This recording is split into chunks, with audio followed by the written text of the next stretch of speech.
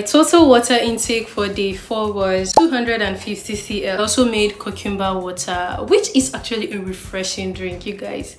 Especially if you let it chill in the fridge for some minutes before you drink. It's quite refreshing. For breakfast, I had acha. I just want to wash a bit of it and boil it. So I'll just do like jollof acha and mix it. I'll eat it with the remaining cabbage sauce. I'm scared of that cabbage sauce.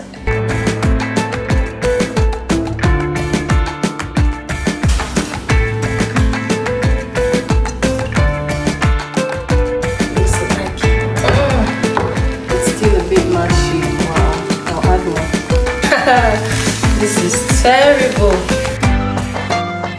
Remember the very peppery cabbage sauce that I made? Yes, that cabbage sauce. I had to finish it somehow. For the last portion, I added some tofu in it to give it that protein mix. So I had my vegetables from the cabbage and the carrots and other vegetables that I made the sauce with. And then I had my tofu, the protein. And for my carbohydrate, I got acha. Now, for those that don't know what acha is, it's an alternative for processed white rice. It's usually recommended for people that are diabetic. You can make acha in several ways. You can make it acha pudding, you can make acha jollof with sweet potatoes. You guys, it's ah memories memories i'm reminiscing right now you can also make acha swallow and eat it with soup when i was thinking of alternatives for quinoa because i could not find quinoa anywhere around here so I thought to myself, I can have acha instead of quinoa or chia seeds. I don't have to break the bank when it comes to eating healthy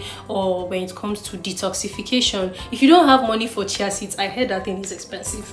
You can buy acha and bake your acha pudding with it. You can always make it work. If you don't have broccoli, you have spinach or ugu I, I don't know the name for ugu, you guys, so please comment the name for ugu leaf if you know the English name for ugu leaf. I don't know. For lunch, I just went through my day basically having my cucumber water. It was so filling. Day four, I was really, really full. I was drinking so much water. I was having so much cucumber water. I could not even have a proper lunch. For dinner, I had the remaining acha and cabbage sauce with tofu, and then I had an orange to just, you know, balance everything break everything down and digest everything. So yeah that was the summary of day four. The headache was beginning to reduce. I was feeling better but i was still feeling quite full and bloated just putting it out there. I don't know why i'm doing this detox guys. And it's simply because of my energy levels. Okay so yesterday i was watching this video by this doctor. So he was talking about how you would know your detox is working. And a lot of things he mentioned like headaches in the first few days even bloating mood swings and energy level you know just advising you just rest just go to sleep and do not think much about it because i was trying to like exercise exercise yeah? But then apparently when you're strictly on plant products you know you're trying to detox you don't need to do that much exercise. Sometimes sleep is just what you need okay? You maybe you just stick to low energy exercises like you know simple yoga and stuff like that walking and I did a lot of walking yesterday. I noticed my energy levels in the mornings are getting better. Like this morning, I'm like full of energy. Usually by this time, I'm already pushing my mouth. I'm angry at the world.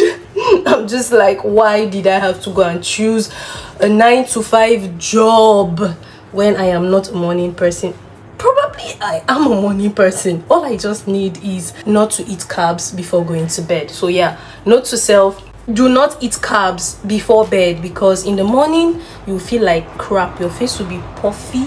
You just feel like i want to be in bed. But now my alarm goes off. Most times i even wake up before the alarm and i'm just like oh yay. Ready to take on the day how has it been so far for you? If you're on this journey i really want to know in the comments below. So yeah that summarizes day four. Let's move on to day five